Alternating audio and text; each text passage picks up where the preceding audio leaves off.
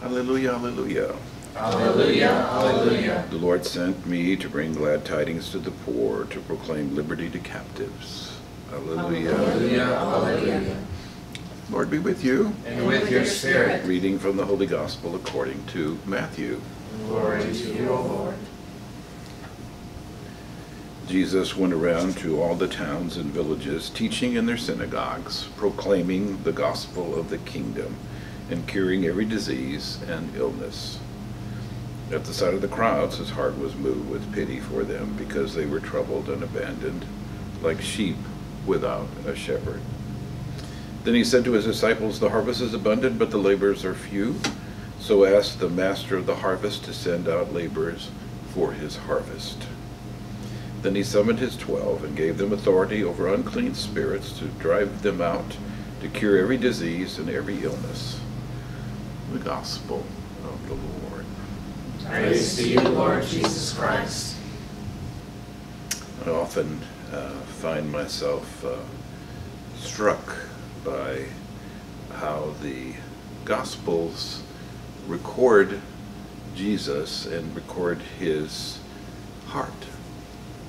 And so in this Gospel, we have Jesus in the sight of the crowds. His heart was moved with pity for them because they were troubled and abandoned, like sheep without a shepherd. And really just imagine that uh, moment and the outpouring really of love that he had for the folks. And in a very real way, it's the same for us. He has that same outpouring of love for us because often we are like sheep without uh, a shepherd. Um,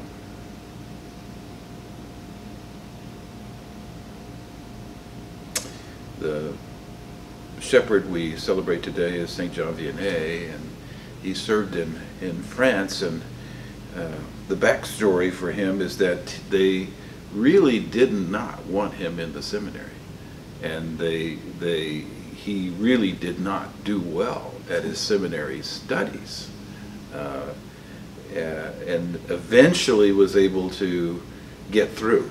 That's virtually what it was, get through. And so they sent him to a little bitty village thinking that he can't do very much wrong there. And uh, of course, as we know, his uh, uh, really devotion to the sacraments, especially the sacrament of confession, was so profound that people from all over France and beyond would come to him to go to confession. And it is purported that even the worst sinner was converted through his experience with uh, Saint John Vianney. It's really that kind of uh, heart that Jesus is really inviting us to have and calling us to. And we experience that heart in Him.